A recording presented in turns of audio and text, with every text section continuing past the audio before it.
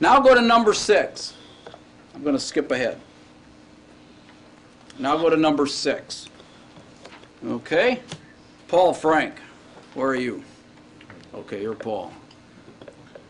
See, you, you just got to learn the alphabet. I got to learn all your names and faces and stuff. So it would be shin, All right, good. The first letter's a shin. Now what do we got? What the heck is this? All right. Here's a vowel mark we haven't seen yet. Okay? This is called a schwa. Okay? And it's the mark for a schwa, and a schwa is going to function the same as a schwa does. What's an English schwa do? Uh, it's kind of an inarticulate vowel sound, generally translated as uh. Okay? And we'll mark it with a schwa sign. All right? Hebrew does have a schwa sound. All right? And it functions as a schwa does in English as sort of an inarticulate uh, vowel sound. So the first syllable of this word is simply sh. Sh. It's not a long vowel, it's not a short vowel, it's a schwa. Now, what's the second uh, consonant? Who's doing this? Uh, Paul? Yep. Mame. Mame, good. and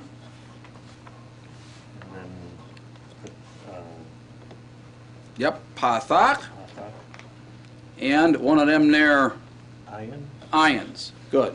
So say the whole word. um, shema, Yeah, Shema. shema. Shema. Very good. Any questions? Do you hear the schwa sound is really just kind of a schwa sound? Shema. All right. Never accented. It'll always be sort of sloughed over, which is really the point of schwas is it's a syllable that you're kind of uh, passing by. Question? Is that like an upside down E? Yeah. Yeah. schwa? Isn't that a schwa marker? Like, you know. I, what do I use in the book? I think we used a, yeah, we used a thing like that, which most transla, for some reason, uh, a lot of textbooks transliterate the schwa with simply an E with a little short vowel over it, which is even more confusing. All right? It's just annoying. All right? All right, if we did six, I want to backtrack now and do five.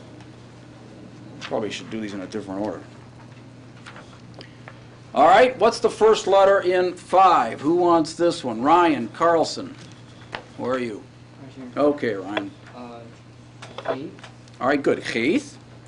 Uh, That'd be a H with a dot under it. Now, what's this animal?